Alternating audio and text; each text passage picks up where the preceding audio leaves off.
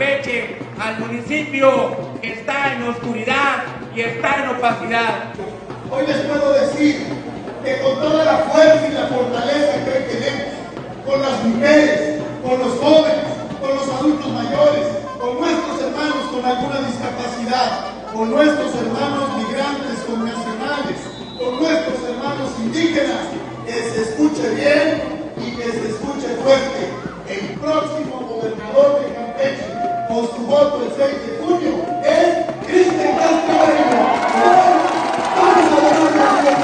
Si algo sabemos hacer los que conformamos esta coalición, es caminar, es tocar puertas.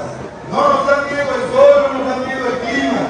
Y lo vamos a seguir haciendo hasta convencer a todos los campechanos. Que quede claro,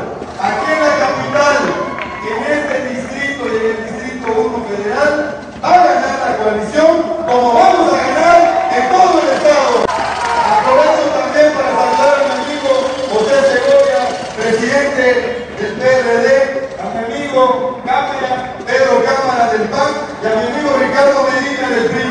Estos tres partidos, estos tres partidos hoy nos unimos para defender a las familias y para hacer defender a Campeche y lo vamos a lograr.